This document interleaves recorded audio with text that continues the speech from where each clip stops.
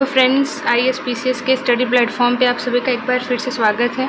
जैसा कि आप सभी को मालूम है कि इस प्लेटफॉर्म पे घटना चक्र पॉलिटी की एक सीरीज़ स्टार्ट हुई है, जिसमें हम लोगों ने कुछ चैप्टर्स कर लिए हैं और आज हम लोग नेक्स्ट चैप्टर करने वाले हैं, राज्य के नीति निर्देशक तत्व। ठीक है? तो जो नीति निर्देशक तत्व हैं, उनका उल्लेख कहाँ पर है? उनका उल्लेख है भाग चार में। भाग चार में उनका उल्लेख है आर्टिकल थर्टी सिक्स से फिफ्टी वन तक। ठीक, और कहाँ से इसको लिया गया है? तो आयरलैंड के संविधान से इसको अडॉप्ट किया गया है। ठीक, ये सारी चीज़ें हम लोग पढ़ चुके हैं पहले। ठीक है कि कहाँ कहाँ से किन किन चीज़ों को अडॉप्ट किया गया है। ठीक तो ये, ठीक है, अब देखिए क्या क्या इसकी विशेषताएँ हैं? इसकी विशेषताएँ क्या क्या हैं? सबसे पहली विशेषता है कि इसको न्यायालय के द्वारा लागू नहीं किया जा सकता। ठीक है, न्यायालय के द्वारा इसको लागू नहीं किया जा सकता। मतलब जैसे मौलिक अधिकार में था ना कि अगर हमारे मौलिक अधिकारों का हनन हो रहा है तो हम क्या कर सकते हैं? न्यायालय जाके उसको लागू करा सकते हैं। लेकिन नीति निर्देशक तत्व के सिद्धांत में ऐसा नहीं दूसरा क्या है कि शासन के लिए आधारभूत है। इसका क्या मतलब है कि राज्य जब विधि बनाएगा तो नीति निर्देशक तत्व में जो भी चीज़ें दी गई हैं, उनको लागू करना राज्य का कर्तव्य होगा। मतलब विधि बनाने से पहले इन नीति निर्देशक तत्वों को देखेगा और उसको जो भी चीज़ें सही लगेंगी विधि बनाने के टाइम में, उसमें उसको शामिल कर लेगा। ठीक है? तीसरा क्या है? कल्याणकारी राज्य की संकल्पना का समावेश। ठीक है? तो इसका क्या उद्देश्य है? इसका उद्देश्य है सामाजिक और आर्थिक प्रजातंत्र की स्थापना। ठीक? तो अगर ये क्वेश्चन पूछा जाए कि क्या, किस प्रकार की राज्य की संकल्पना है नीति निर्देशक सिद्धांत में तो कल्याणकारी राज्य की। ठीक है? अब देखो, उसके बाद एक और इंपॉर्टेंट फैक्ट है, इसमें ये है कि जो भारत सरकार अधिनियम 1935 उसमें अनुदेश प्रपत्र अनुदेश प्रपत्र को भारतीय संविधान में डीपीएसपी के रूप में शामिल किया गया है। इसका ये मतलब है कि देखो, जब 1935 अधिनियम में जब 1935 का अधिनियम था तो ब्रिटिश सरकार भारत के गवर्नर जनरल और प्रांतों के गवर्नरों को एक प्रपत्र जारी करती थी और उस प्रपत्र में कुछ नियम लिखे होते थे, ठीक? तो उसी प्रपत्र को एग्जैक्ट शामिल कर लिया गया है भारतीय संविधान में किसके रूप में? डीपीएसपी के रूप में, ठीक है? तो ये हो गई इसकी विशेषता। अब आर्टिकल पे बात कर लेते हैं। तो सबसे पहले अनुच्छेद 36 अनुच्छेद 36 क्या कहता है? राज्य की परिभाषा। हम लोग जब मूल अधिकार पढ़ रहे थे तो उसमें हम लोगों को एक आर्टिकल पढ़ना था। आर्टिकल ट्वेल्व नहीं पढ़ पाए थे तो यहाँ पे देख लीजिए। आर्टिकल ट्वेल्व क्या करता है, वो भी राज्य की परिभाषा को ही बताता है। तो राज्य में कौन कौन आते हैं आर्टिकल ट्वेल्व के अनुसार? भारत सरकार, राज्य की संसद, राज्यों की विधायिका भारतीय क्षेत्र के भीतर जितने भी स्थानीय और अन्य प्राधिकरण हैं, वो सब किसके अंतर्गत आते हैं? आर्टिकल ट्वेल्व ठीक। और आर्टिकल थर्टी सिक्स क्या कहता है? आर्टिकल थर्टी सिक्स ये कहता है कि राज्य की वही परिभाषा होगी जो भाग तीन और अनुच्छेद बारह में दिया गया है। ठीक है तो मतलब आर्टिकल थर्टी सिक्स और आर्टिकल ट्वेल्व सेम फिर आर्टिकल 37 क्या है? आर्टिकल 37 ये कहता है, जो अभी हम लोगों ने ऊपर विशेषताएँ पढ़ी हैं, ना, कि जो डीपीएसपी है, वो किसी न्यायालय के द्वारा प्रवर्तनीय नहीं होगा, लेकिन विधि बनाने के लिए इन तत्वों को लागू करना राज्य का कर्तव्य होगा। तो जो ऊपर हमने विशेषताएँ पढ़ी थी, वही इसका आर्टिकल 37 है। 38 क्या कहता है? 38 कहता है कि लोक कल्याण की अभिवृद्धि के लिए सामाजिक व्यवस्था मतलब राज्य ऐसी सामाजिक व्यवस्था बनाएगा जिसमें सारे लोगों का कल्याण हो। कोई भी वर्ग ना छूटे, ठीक है? फिर नेक्स्ट आर्टिकल 39 क्या कहता है। आर्टिकल 39 ये कहता है कि स्त्री पुरुष को समान रूप से आजीविका दी जाए और भौतिक संसाधनों का न्यायपूर्ण वितरण किया जाए। मतलब जो भी भौतिक संसाधन उपलब्ध हैं, उसको इस प्रकार से वितरित किया जाए कि सभी को न्याय मिले, ठीक है? न्यायपूर्ण वितरण हो। ठीक आर्टिकल 40 क्या कहता है? सॉरी अभी 39 का। 39 का क्या कहता है? कहता है कि समान न्याय और निःशुल्क विधिक सहायता। ठीक है? सभी को समान न्याय दिए जाना चाहिए और सभी को निःशुल्क विधिक सहायता दिए जाना चाहिए। ठीक? आर्टिकल 40 क्या कहता है? आर्टिकल 40 कहता है ग्राम पंचायतों का गठन। ठीक है?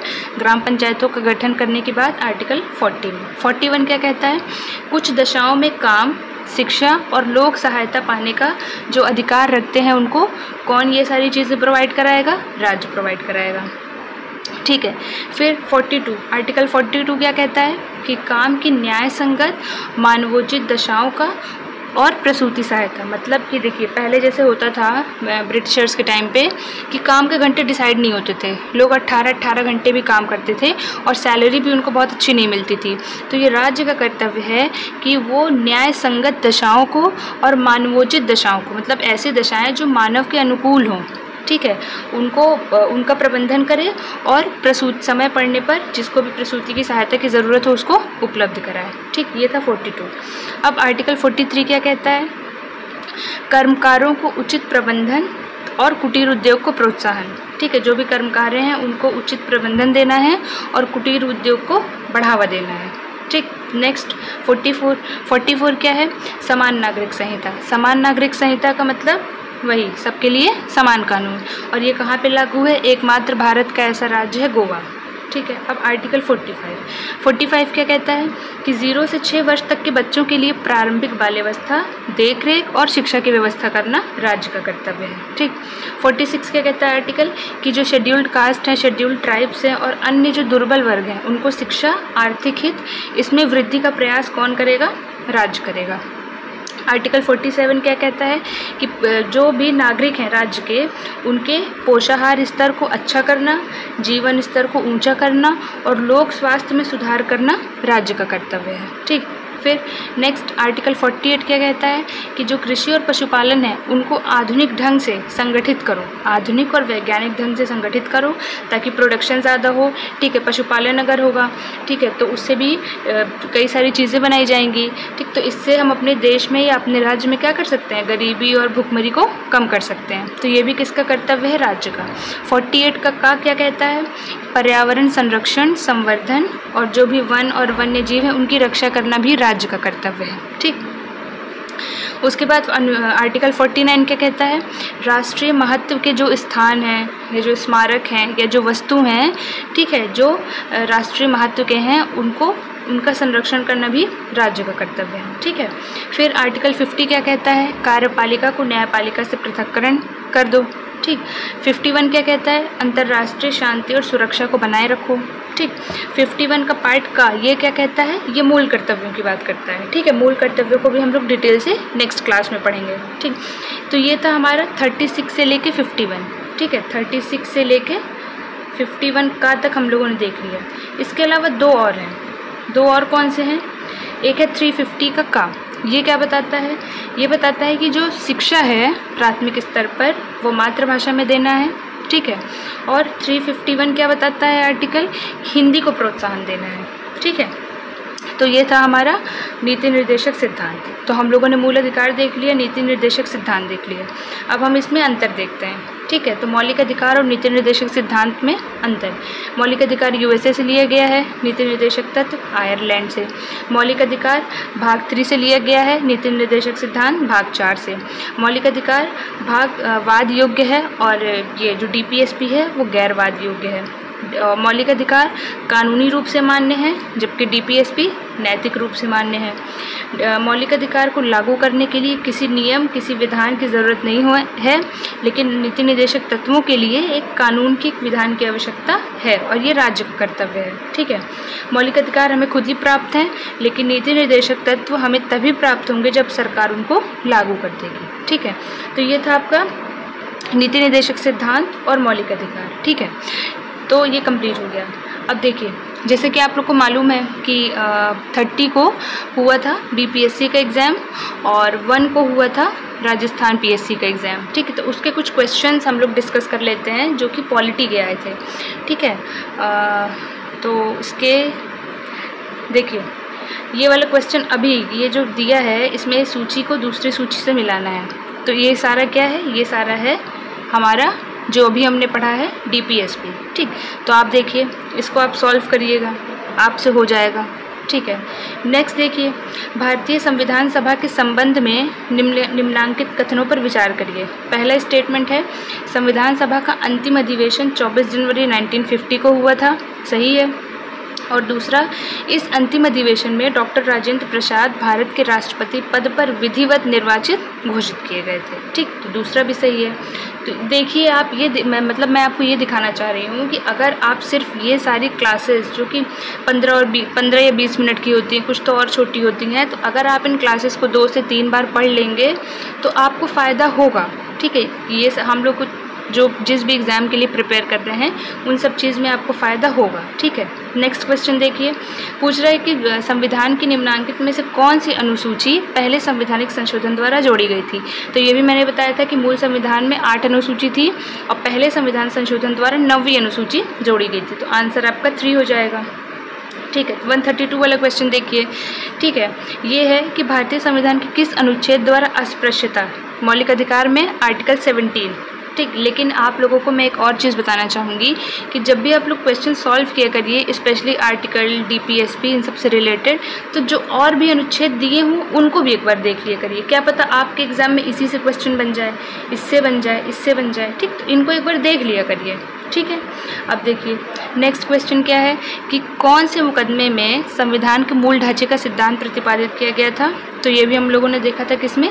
केशवानंद भारती। अब ये तो आंसर हो गया। अब थोड़ा सा आपको क्या करना है? थोड़ा सा आपको गूगल करना है और गोलकनाथ वाला केस देख लेना है डेट के साथ। क्योंकि एग्ज़ाम में हम लोगों की डेट ही पूछा जाएगा। ठीक? और थोड़ा सा मिनरवा मिल्स देख लेना है डेट के साथ। क्योंकि थोड़ा फैक्चुअल क्वेश्चन आते हैं ना हरो यारो के एग्ज़ाम में और पेट के एग्ज़ाम में। तो डेट पे आप लोग ज़्यादा फोकस करिएगा, ठीक? नेक्स्ट चलते हैं। ये वाला क्वेश्चन भी मैंने मौलिक अधिकार में कराया था कि भारतीय राष्ट्रीय कांग्रेस के किस अधिवेशन में सबसे पहले प्रस्ताव पारित किया गया था तो कराची अधिवेशन में। इसका आंसर क्या है? इसका आंसर है ए कराची अधिवेशन में, ठीक? ये हमारे काम का नहीं है। फिर नेक्स्ट है ये वाला देखिए, ये वाला क्वेश्चन भी ये हमारे काम का नहीं है। देखिए, सिक्किम भारतीय संघ का पूर्ण राज्य कब बना था? ये क्वेश्चन भी मैंने कराया है। कॉपी में आप लोग जाके देखिएगा। ठीक? फिर उसके बाद इधर आइए, इधर देखिए। 131 इसमें कह रहा है कि मौलिक अधिकारों को कहाँ से लिया गया? अभी मैंने डिस्कस किया। जब मैं डिफरेंस बता रही थी तो मैंने बताया कि यूएसए से लिया गया है। ठीक? अब आप लोग को क्या करना है?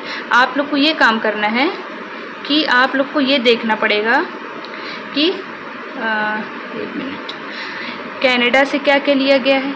ठीक है कौन कौन से विचारों को कनाडा से लिया गया है? कौन कौन से विचारों को आयरलैंड से लिया गया है? कौन कौन से, क्योंकि सिर्फ़ मौलिक अधिकारों को तो लिया नहीं गया यूएसए से तो और कौन कौन से विचारों को यूएसए से लिया गया है और कौन कौन से विचारों को यूके से लिया गया है? तो इस तरह से आपका रिवीजन भी होगा और हर एक ऑप्शन पे आपकी कमांड हो जाएगी। ठीक है, जिससे मान लीजिए नेक्स्ट टॉपिक नेक्स्ट किसी एग्ज़ाम में आपसे पूछ लिया जाए, कुछ ऐसा विचार दे दिया जाए जो आयरलैंड से लिया गया हो। ठीक है, जैसे अभी हम लोगों ने क्या डिस्कस किया? अभी हम लोगों ने डिस्कस किया नीति निर्देशक तत्व तो आयरलैंड से क्या लिया गया? नीति निर्देशक तत्व। ठीक है तो इस तरह से थोड़ा सा पढ़ने की कोशिश करिए।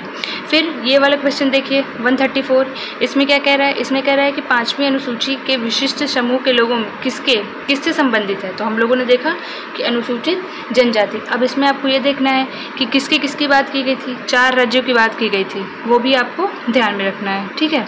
असम, मेघालय, त्रिपुरा मिज़ोरम। था तो उस, उसको भी आपको ध्यान रखना है, ठीक है? अब देखिए, इधर देखिए इस वाले क्वेश्चन से हमें मतलब नहीं है, ये वाला देखिए, कौन कैबिनेट मिशन के सदस्य नहीं है? तो मैंने कहा था ना कि ये, आप लोग लेक्चर में देखिएगा, मैंने उसमें जब ये वाला ये वाला लाइन जब मैं बता रही थी तो मैंने उसमें कहा था कि तीन ऑप्शन देंगे, जिसमें तीन लोगों के नाम होंगे, और एक ऑप्शन कोई ऐसा होगा जिसमें थोड़ा डिफरेंट नाम होगा। ठीक है, जैसे इसमें आंसर क्या होगा? इसमें आंसर आप लोग कमेंट करके बताइएगा, ठीक है? तो आप देख सकते हैं कि अभी हम लोगों ने सिर्फ़ शायद बारह बारह लेक्चर किए हैं तो उसमें आपको इतने सारे क्वेश्चन मिल गए, ठीक है? तो आप लोग ईमानदारी से लेक्चर को देखिए, ठीक है? चीज़ों को याद करिए और क्वेश्चन प्रैक्टिस करिए, ठीक है? Thank you